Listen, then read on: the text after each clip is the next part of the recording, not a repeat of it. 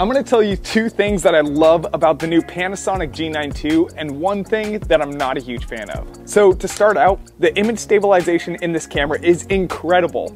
In the camera body alone, it contains eight stops of image stabilization, and even when zoomed in at a full 800 millimeter full frame equivalent, this footage looks fantastic. Now, another thing that I really like about the Panasonic G9 II as a wildlife photographer is its new pre-burst function. It can capture up to 60 frames per second, a second and a half before you actually click the shutter meaning that you can prep images ahead of time, and then when the bird takes off or lands on a perch, you can click the shutter and it'll backlog a whole second and a half's worth of bursted photos. Now, the one thing that I'm not a huge fan of about this camera is that it doesn't hold up that great in low light. In low light scenarios, it winds up being a little noisy and a little grainy, just like other Micro Four Thirds sensors, and this camera is no exception to that.